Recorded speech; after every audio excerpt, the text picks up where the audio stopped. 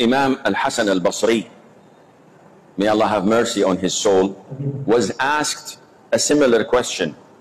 And the man said, I cannot pray tahajjud. I try my level best to pray tahajjud, I can't. So Imam Hassan says, your sins have chained you. When you have so many sins, you cannot wake up. Because your priority is here only for dunya. For akhirah, your priority is very low. If you have a flight at 3 o'clock a.m., will you wake up? Of course. You will wake up at 2 and prepare your bag and you don't have any sleep. If you have a business meeting or an interview for a new job, will you prepare for it? For two, three weeks. But when it comes to tahajjud or to what pleases Allah, oh, I can't, Shaykh. Right? Of course you can't. What time do you go to bed? One o'clock.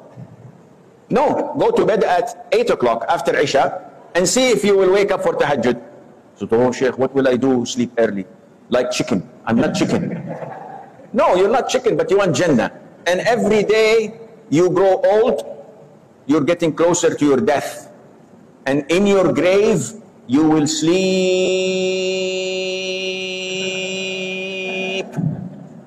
So don't worry about losing sleep. You will sleep a lot in your grave. Very eh? Tonight is what you have to worry about.